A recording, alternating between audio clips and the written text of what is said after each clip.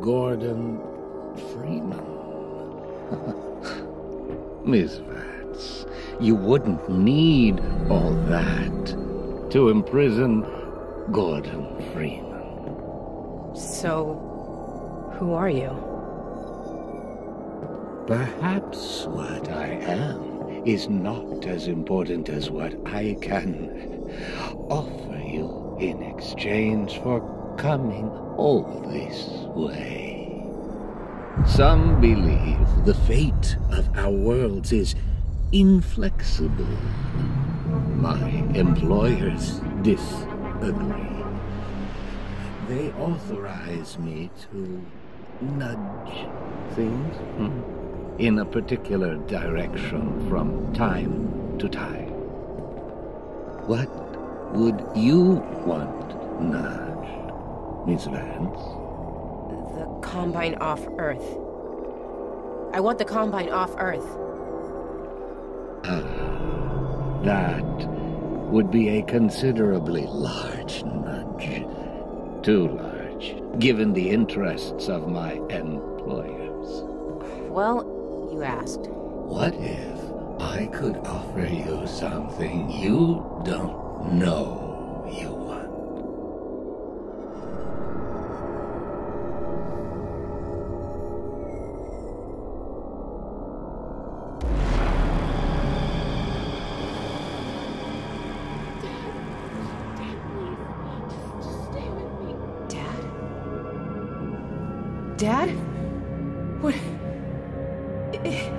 me? What is this? What's happening? We are in the future. This is the moment where you watch your father die. Unless, What? Unless what? unless you were to take matters into your own hands.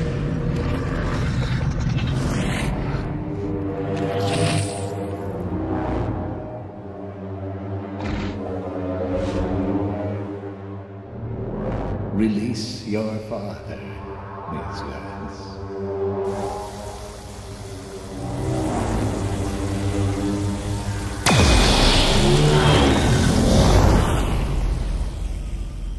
Good. As a consequence of your action, this entity will continue, and this entity will not. Right. So he's okay, right? He lives. My dad lives.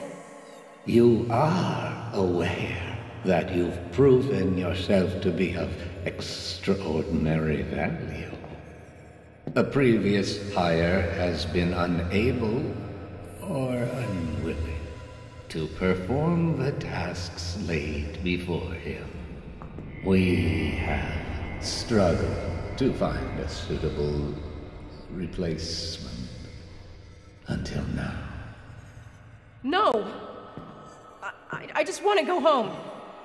Send me home! I'm afraid you misunderstand the situation, Miss Vance. Wait! Hey, wait! Wait! Wait! Gordon. She's gone, Gordon. She's gone. Son of a bitch, it has unforeseen consequences. I knew it.